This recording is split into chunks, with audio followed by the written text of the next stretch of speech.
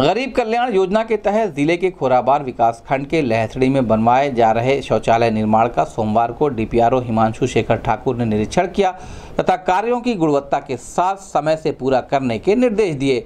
इसके संबंध में डीपीआरओ हिमांशु शेखर ठाकुर ने बताया कि ज़िले में एक हज़ार एक सौ नवासी गाँवों में शौचालय का निर्माण होना है, जिसमें से एक हज़ार एक सौ तैंतीस गाँवों में स्थल का चयन कर लिया गया है। शेष गाँवों में भी जल्द ही स्थल का चयन कर काम शुरू कर दिया जाएगा।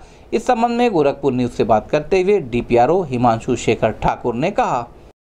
कम्युनिटी टॉयलेट जो है, अभी आपको जैसे पता होगा, गरीब कल्याण रोज़गार अभियान जो भारत सरकार का 125 दिनों का अभियान है, जिसके तहत गोरखपुर में ग्यारह ग्राम पंचायतों में, ग्यारह सामुदायिक शौचालय का निर्माण किया जाना है।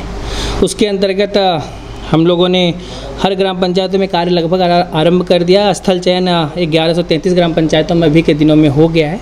और लगभग साढ़े छः सौ ग्राम पंचायतों में कार्य प्रारंभ हो गया है। हमारी ये कोशिश है अगले दो से तीन दिनों में सभी ग्यारह सौ नवासी स्थलों पे कार्य प्रारंभ हो जाए। उसी में से एक स्थल का निरीक्षण जहाँ पे कार्य चल रहा था, खोराबार के लहसड़ी गाँव में कार्य चल रहा था, उसी का निरीक्षण करने के लिए मैं आज वहाँ गया था।